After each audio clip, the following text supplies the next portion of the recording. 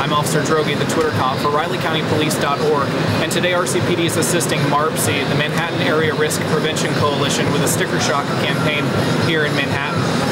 The sticker shock campaign consists of several volunteers from around the Manhattan area to include some students from MHS's SADD group, uh, and we're basically just putting stickers on uh, packages of beer to help remind community members that drinking underage or serving to people underage is against the law and does come with consequences. Today we're doing sticker shock, so we are going around to different liquor stores in Manhattan and putting stickers on um, different alcohol products that say don't give this to a minor.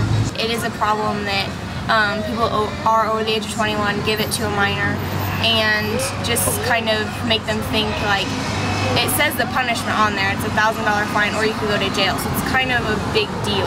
In about a three-hour time span, MARPC, uh, as well as some officers with the Riley County Police Department, have stickered about 2,000 to 2,500 packages of beer, and, and this is all again in hopes to remind the community that purchasing alcohol for those under the age of 21 is against the law and does come with consequences.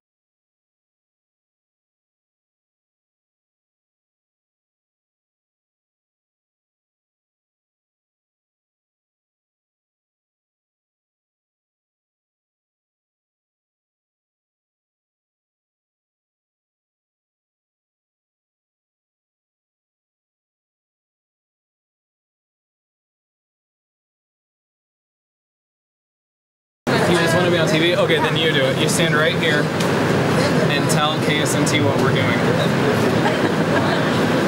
See, it's not that easy, right?